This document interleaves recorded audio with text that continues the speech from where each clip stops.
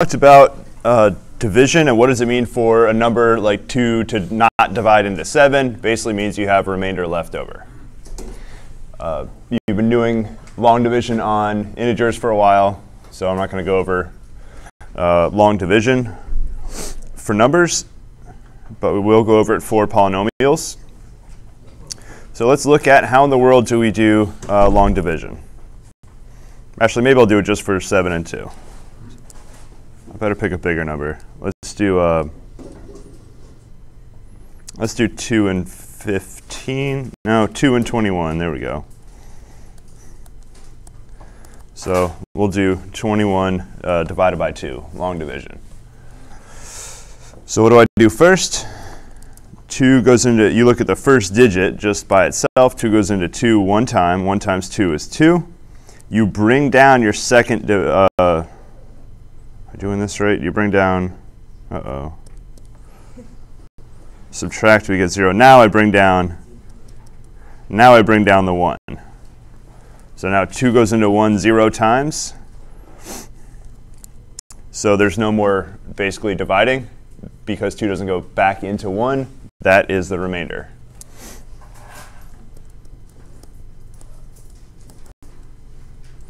Now, if you actually divide in evenly, you'll get a remainder 0 at the end. So for example, if that digit was another 2 or 4, I would be able to divide in again. Oh wait, what am I doing wrong? You didn't You have to. Oh, there we go. It goes in zero times, and then I'm going to write remainder 1. So that would be the long division right there. So any questions on that long division? Should be things you've done many times before. All right, so this key right here, remainder, we're going to shift into polynomials now.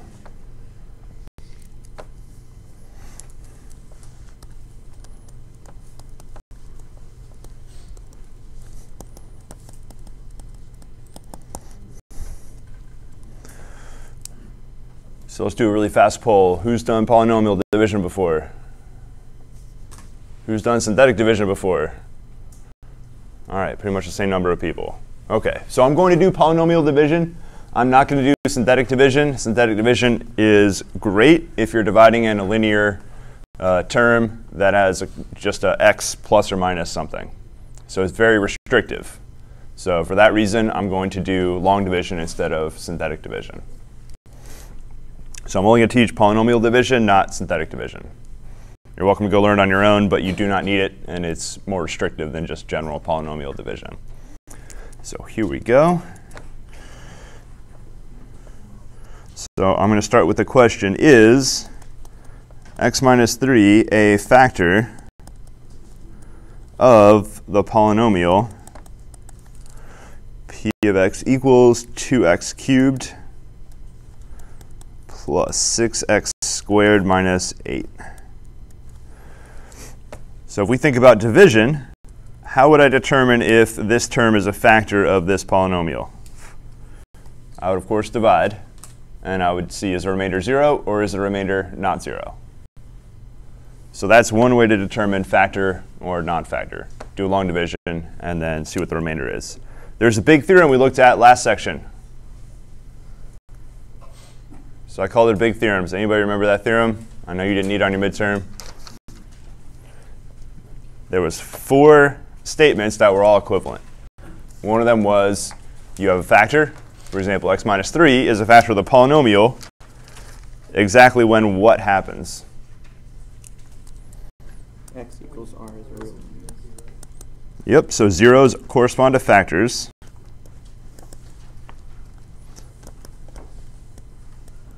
So polynomial zeros correspond to polynomial zeros. Whoa, polynomial factors. I'll just write factors on this side. All right, so our factor is x minus 3.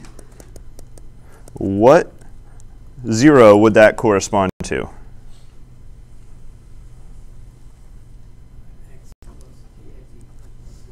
So it should be x equals 3, the x value that would make your factor 0.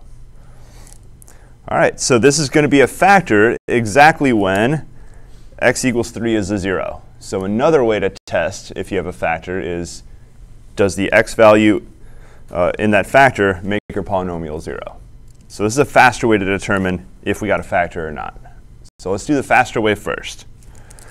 So I want you to check is x equals 3 a 0 of this polynomial on the board.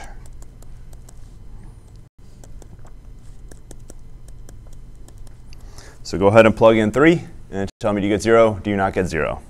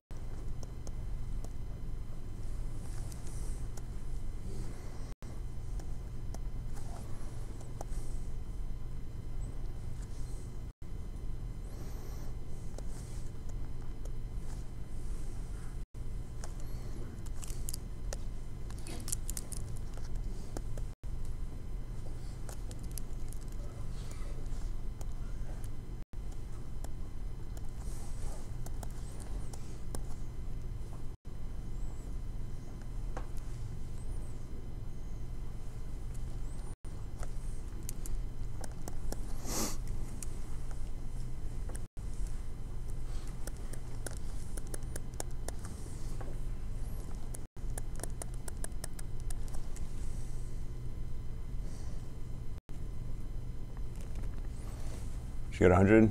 Yes. All right. You probably got a different way. I used algebra instead of arithmetic because I'm bad at arithmetic. All right. 100 is definitely not 0. So this should not be a factor.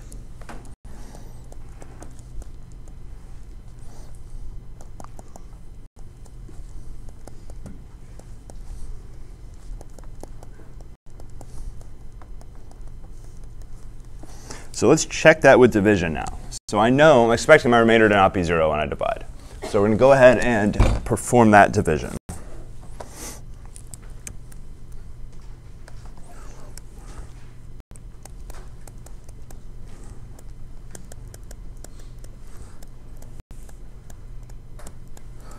So we're going to go ahead and divide. So the term we're dividing by is x minus 3. And the polynomial is right there on the top of the board. 2x cubed plus 6x squared. Now there's a term missing.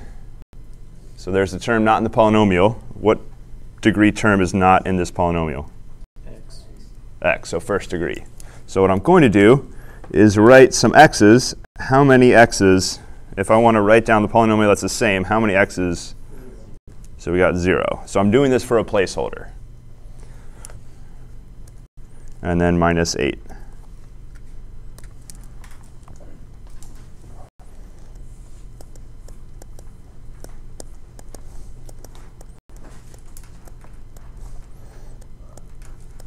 So missing term should still be written. Now, if I didn't have an x squared term, I'd write 0x squared. If I had no constant term, I would just write plus 0 at the very end. So whatever, you may have more than one term missing. It's easy to know if you have a term missing. You have degree 3 polynomial. You shouldn't have three terms. You should have four terms total because there's a degree 0 term. So whatever your degree is, you should have one more than that number of terms. All right, let's go ahead and divide.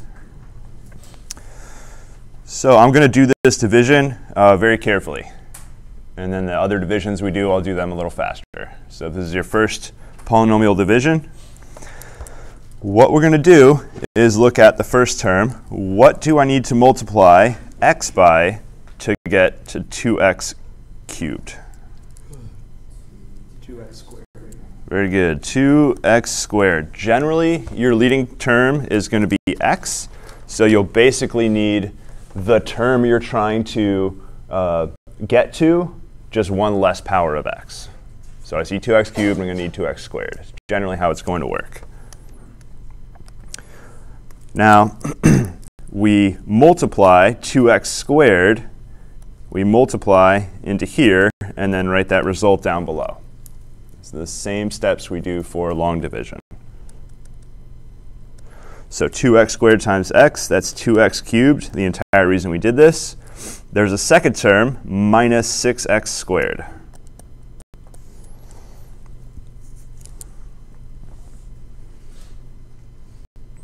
So any questions on that uh, product right there? Now what happens if I add this? I'd have 4x cubed plus 0x squared. That's not what I should be getting. So don't do this. What should I be doing instead? Subtracting. All right, so we're going to subtract. Just like regular long division, you're subtracting this term out. So now we have 0x cubes, which of course that was our goal, to knock out our x cubes. So I'm just going to write 6x squared plus 6x squared. That's 12, positive 12x squared, bringing down the 0x. You don't need to write plus 12 squared. So you're always bringing down, after you subtract, you're bringing down your next, before it was digits, now it's just next term. You're basically treating terms like they're digits. All right, what do I multiply x by to get 12x squared? 12x. 12x. You're just basically dropping the power by 1. So multiply by 12x. That's going to be a positive 12x. Now multiply 12x times x minus 3. It's 12x squared minus a lot of x's, 36 x's. And we're always subtracting here.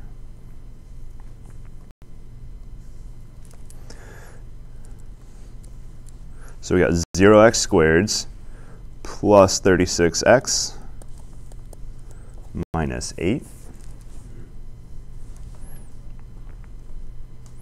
So what do I multiply x by to get the 36x?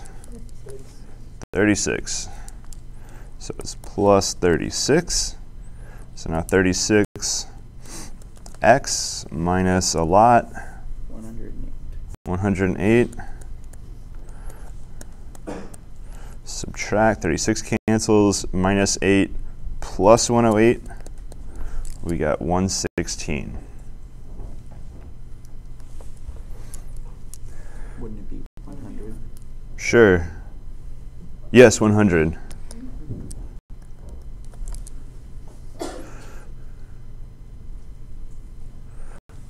Any questions on that step? What if I try to keep going? So don't write this down. I'm going to keep going. What would I multiply x by to get 100? You can do it. What do I multiply x by to get 100? It's got 100 in it. 100 over x. That right there should be indication you need to stop. So once you get to your constant term, the only way to get rid of your constant term would be to multiply by something over x. So that's where you need to stop right there. That's the end. So we got remainder. So I'm writing R100. Just that same notation we used before, remainder 100. Okay, you survived your first polynomial division. What does this mean if we put it back together in a product form? Well, if I leave it in the division form,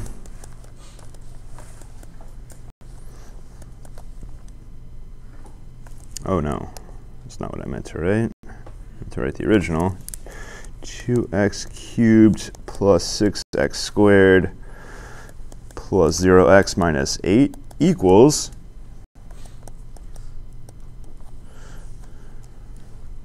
Actually, we'll leave it in the division form first, then I'll rewrite it. So we divided by x minus 3, and this equaled 2x squared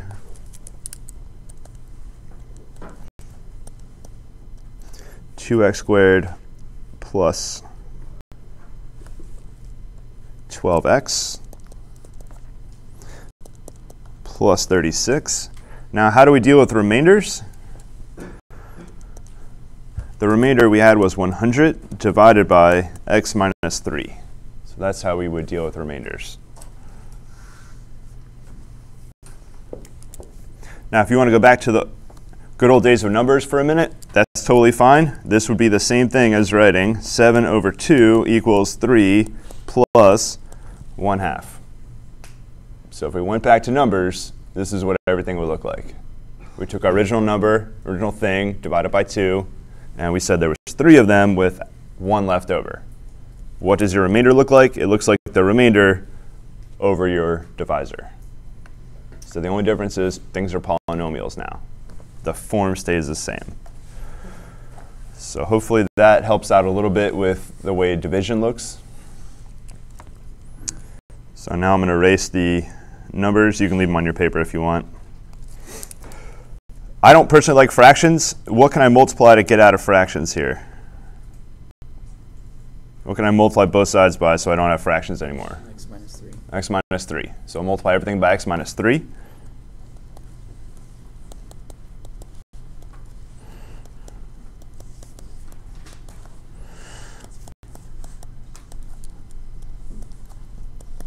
Now I have to be careful.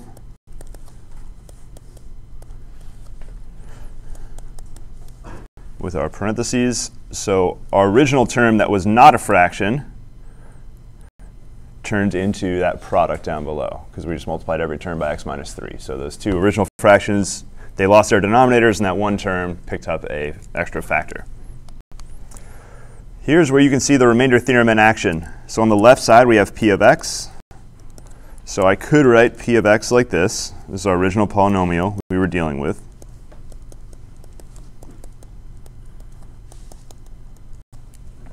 It's a little bit strange, but in this form, what we did was figured out what is p of 3.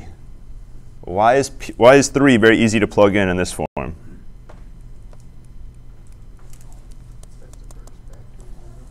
Because it's going to zero out our first factor. So all the, this part right here, all turns into 0. So the entire first part is 0, and we are just left with that 100 right there. So this is the remainder theorem in action.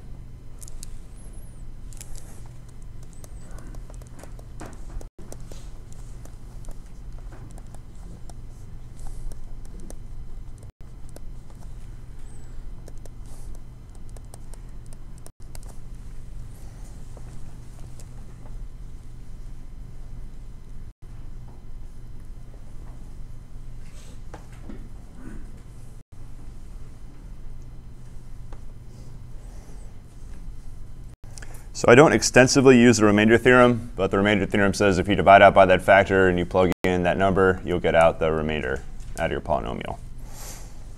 Uh, the theorem we will use quite a bit is uh, the rational zero theorem. So how in the world are we going to pick what number uh, would make a polynomial zero? So if we go way back to our original polynomial, so we know x minus 3 is not a factor. How do we go about figuring out what x values make this equal to 0. You have a very powerful tool for quadratics. You either go complete the square or quadratic formula, which is basically complete the square. We don't have that in degree 3 or higher. So in degree 3 or higher, the way we're going to get zeros is the rational zero theorem. So I'm going to write that down now.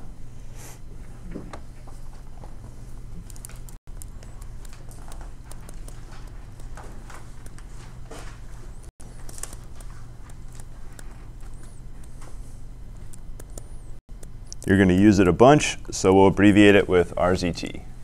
This is going to find rational zeros if they exist.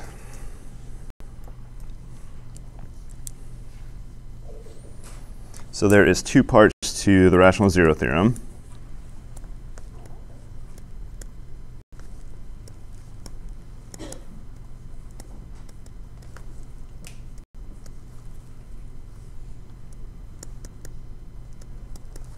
So degree n polynomial has at most n zeros.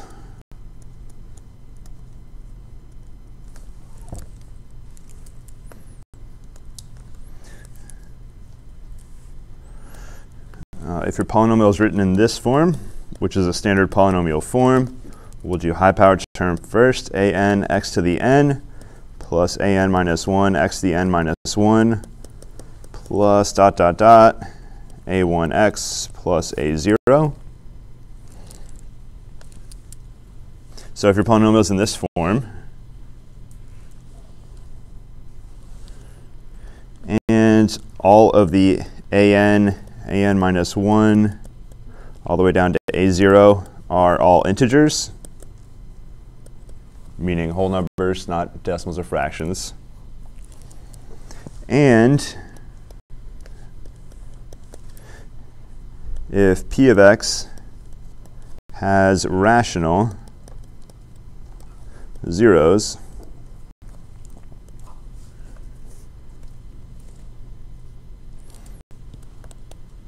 then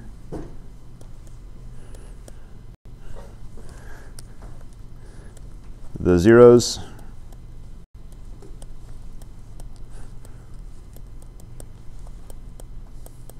are going to be of the form x equals p over q, where p, so the numerator, will be a factor of a 0.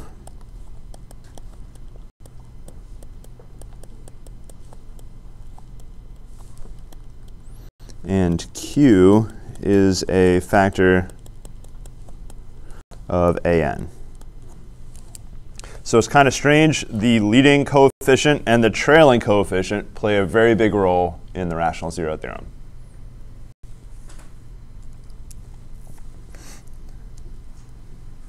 Oh, I use the letter P for two different things.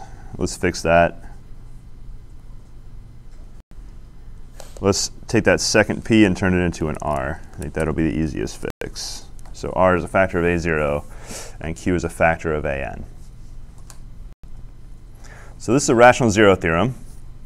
There's a pretty good chance you'll use it on your next quiz, which most likely will be on polynomials. The name of the entire chapter is polynomials. So let's go and find some rational zeros.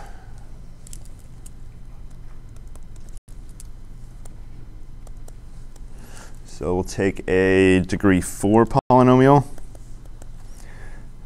2x to the fourth minus 3x cubed minus 6x squared plus 5x plus 6. Use the rational zero theorem to write out all possible rational zeros.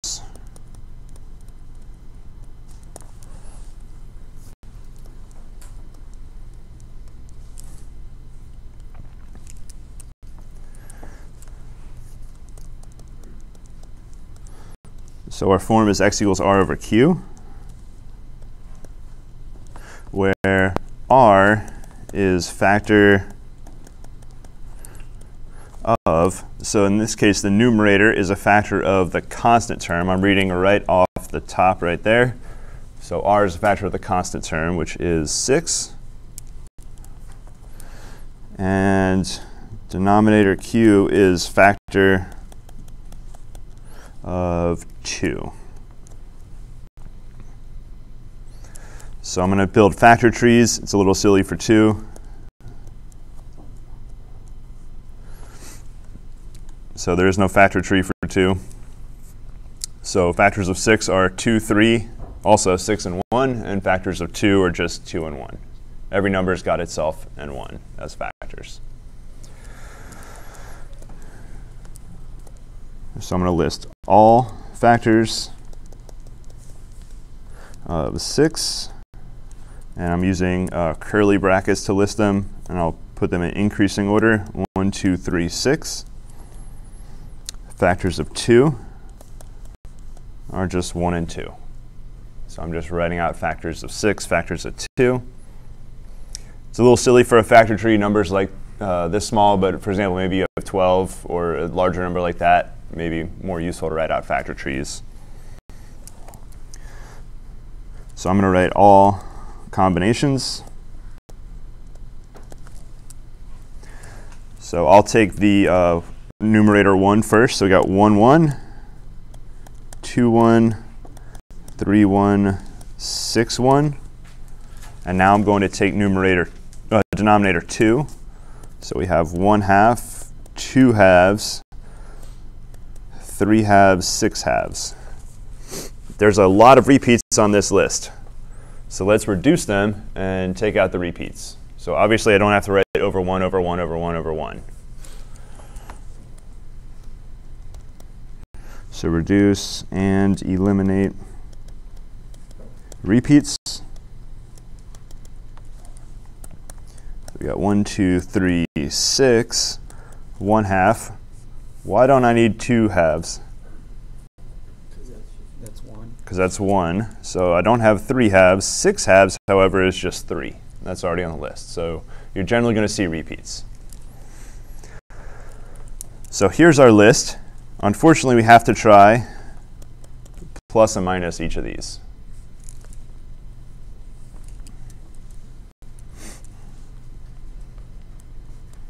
So I'll rewrite the polynomial. 2x to the fourth minus 3x cubed minus 6x squared plus 5x plus 6. How many zeros could I have at the most in this polynomial? Four. Could have up to 4. But that's up to 4, not necessarily 4.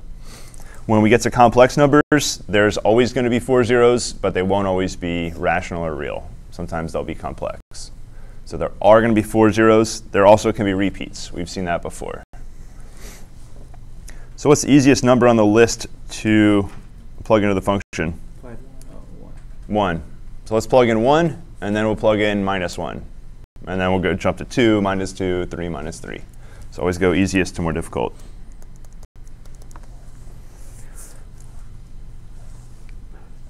All right, so plug in 1 and see what you get. One fast way to do this, you're basically adding up coefficients when you plug in 1. It's a really fast way to plug in 1.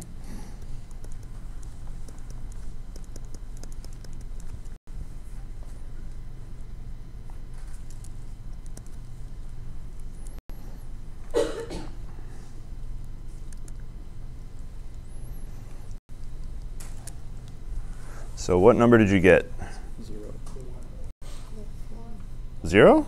Nope, never mind. I thought that was Four, right? All right, but remember, I was looking basically zero or not zero. So if you got four or five or six, any of those values, you know it's not zero. So I'm not going to write the actual value, but I know just looking, there's more positive stuff than negative stuff. So I know it's going to be greater than zero.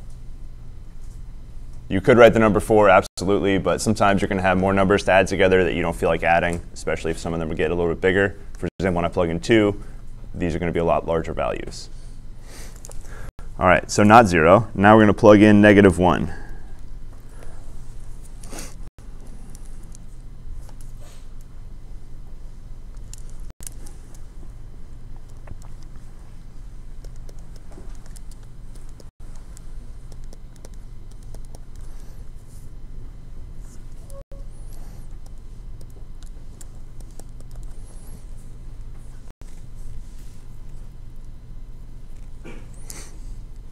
You should get 0 for negative 1.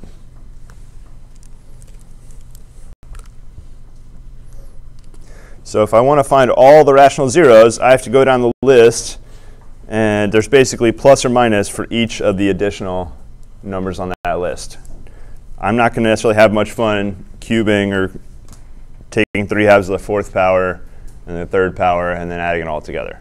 So this could take quite a while if I just apply the rational zero theorem and test all these rational zeros. There is a better way. We just found a zero. What does that mean about factors of p? We know about a factor of p. What factor do we know about?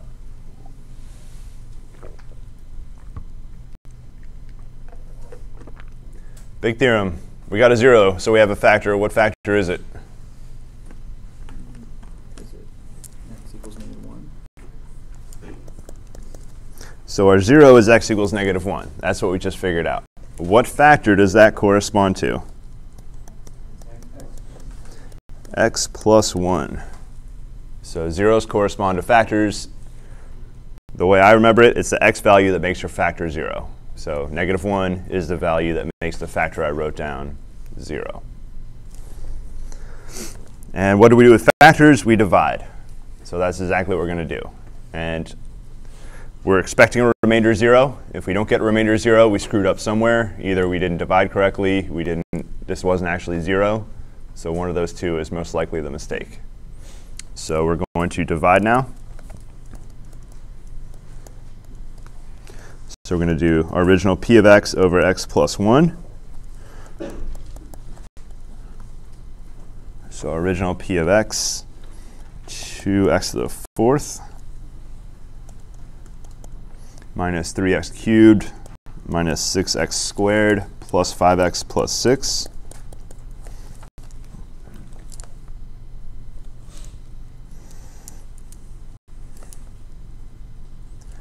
So what do I multiply x by to get 2x to the fourth? 2x to the third. 2x cubed. So 2x cubed times x is 2x to the fourth plus 2, 2x cubed times 1 is 2x cubed. Make sure you subtract or else you're not doing division. So 3x cubed minus 2x cubed is minus 5x cubed. Now we bring down minus 6x squared. And what do I multiply x by to get negative 5x cubed? Negative 5 squared. Negative 5x squared. So I want you to do the rest of this problem right now. And your very last step, you should be getting down to remainder zero. So I'll write that on the board. It's a good time to ask for help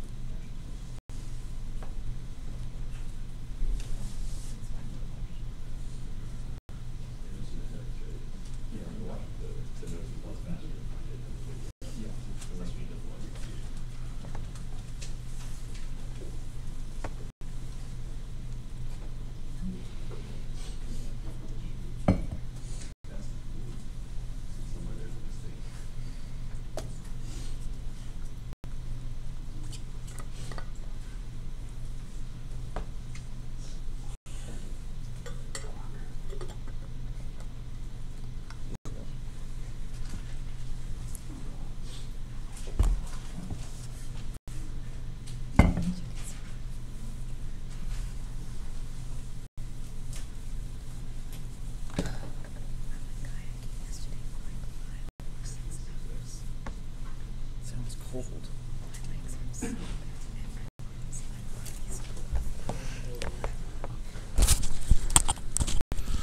if your remainder's not zero, look at your neighbor's paper. Hopefully their remainder is zero. And you can figure out where your mistake is. There is a chance you maybe wrote 6x instead of 5x. That will screw everything up. So one little mistake of writing down one number or a minus where it should be a plus will mess everything up.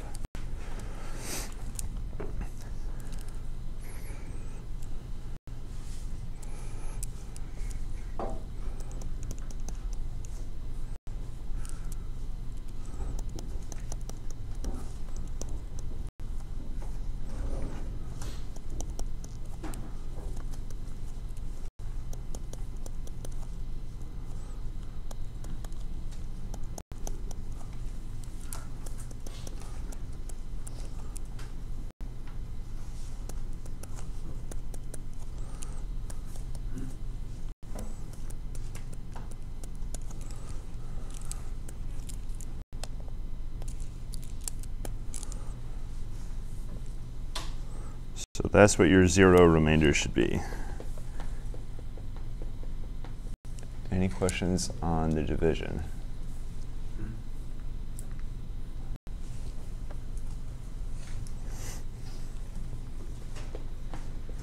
So this lets me rewrite p of x.